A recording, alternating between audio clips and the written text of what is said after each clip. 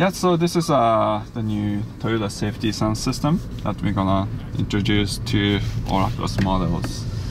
And what we are gonna demonstrate today is a pre-collision system. And you can see a vehicle target there and a pedestrian dummy there. So we're gonna present two uh, features.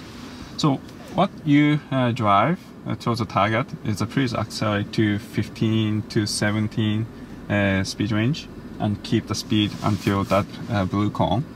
You can see the both sides, right?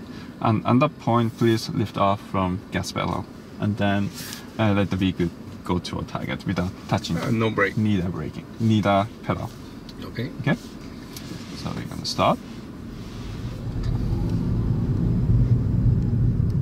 Uh, a little bit fast though.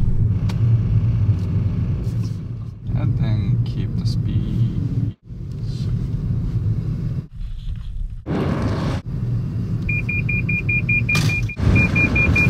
Uh, maximum speed is uh, top vehicle top speed, but uh, depend on the situation. But uh, speed reduction is limited to 25 mph. Okay.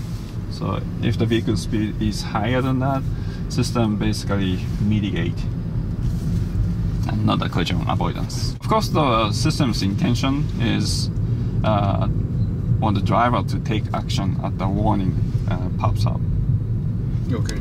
Auto brake is uh, the last result for safety.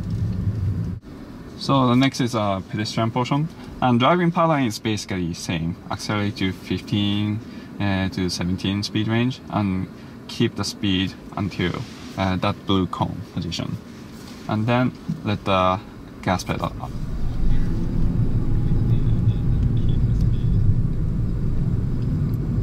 At 15, you let it go.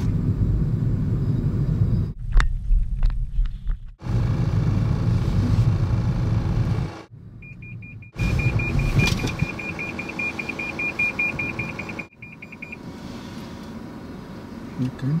Yep.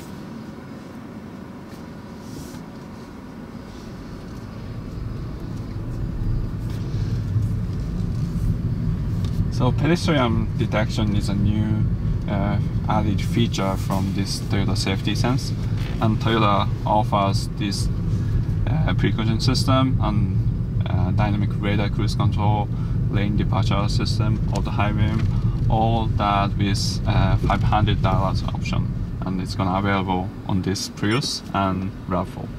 Okay.